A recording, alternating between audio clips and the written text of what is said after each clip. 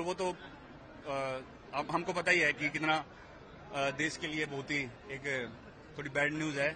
लेकिन वही है कि मैं उनको मिला था इस साल ही मार्च में तो उस बीमार तो चल ही रहे थे शुरू से लेकिन बिल्कुल मुझे भी कल पता चला तो बहुत दुख हुआ और बस वो है कि हम आ, हमारे दिल में वो रहेंगे और हम जो भी उनसे सीखे हैं उनको हमको कंटिन्यू रखना है।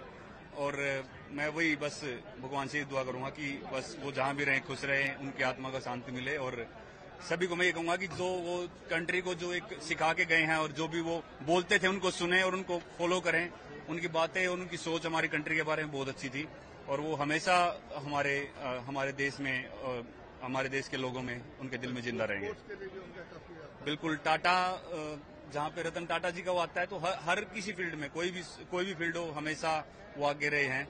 तो बिल्कुल स्पोर्ट्स के लिए भी आ, काफ़ी अलग अलग गेम्स में उनका इंटरेस्ट था और अलग अलग गेम्स फेडरेशन के साथ वो आ, काम कर रहे थे। और मतलब आप किसी कोई भी फ़ील्ड उठा लो उन्होंने हमेशा कंट्री के बारे में अच्छा ही सोचा है और वो हमेशा अच्छी राय दिखाई है।